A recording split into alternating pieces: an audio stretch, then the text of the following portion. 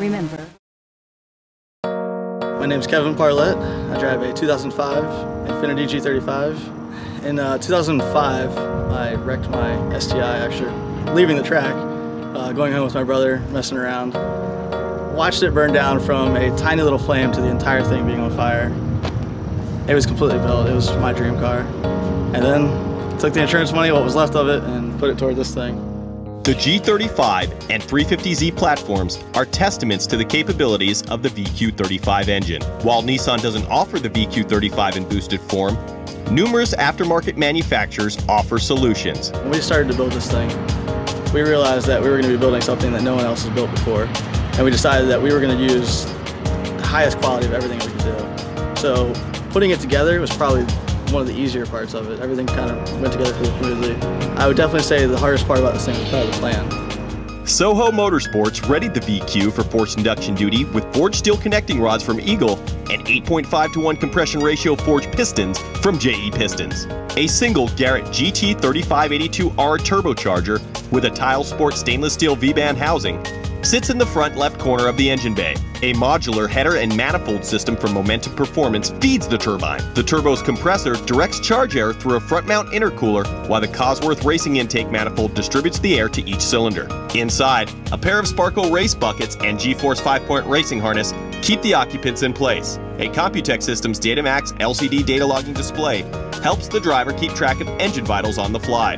The aggressive offset of the wheel and tire combination required some major massaging of the fenders by Bingz Rods to provide adequate clearance for the 285s in the front and 305s in the rear. Aero upgrades include straight front bumper and side skirts, a custom carbon fiber front splitter, and an APR GTC 300 wing. When we built the car, we knew that we would have to do every single thing perfect. And by perfect, most of it was probably stuff that hadn't been done before to a G35. From the engine to the turbo to the interior, all those things are really, really top of the line. But I've, I can't lie, probably my favorite thing right now, which is still new to the car, is probably the front end. I mean, the, the Kevlar splitter from NASCAR is just, it's with the brake ducts and the block off plates and everything, it just, it looks so mean from the front.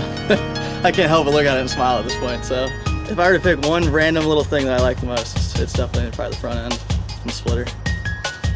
The car has been a long time coming. I've grown up drag racing my entire life. My family has done top alcohol drag cars since the day I was born. I think I left the hospital on a Thursday and was at the drag strip on Saturday.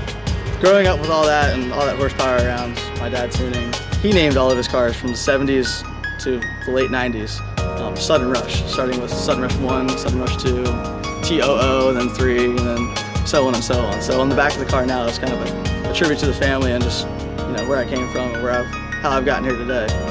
I'm gonna definitely have to give a special shout out to uh, the guys at Soho. I mean, they have just every night, every day for the past year to build this car. Put aside, you know, new marriages to, to work on this car. I'm sure the wives don't like that. Thank you to you too, by the way. also, probably a really big shout out to uh, Jason Binger, who is the guy who has done all of the fabrication work on this car.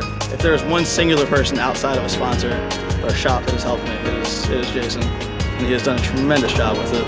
Other than that, I mean, just I, I really can't not mention all the sponsors that have helped. Soho, Assaultech, Momentum, SPL, Suspension, Computech, just literally every single person who's been involved with this car has helped and helped tremendously, more than I could ever imagine, and I look forward to the future with all.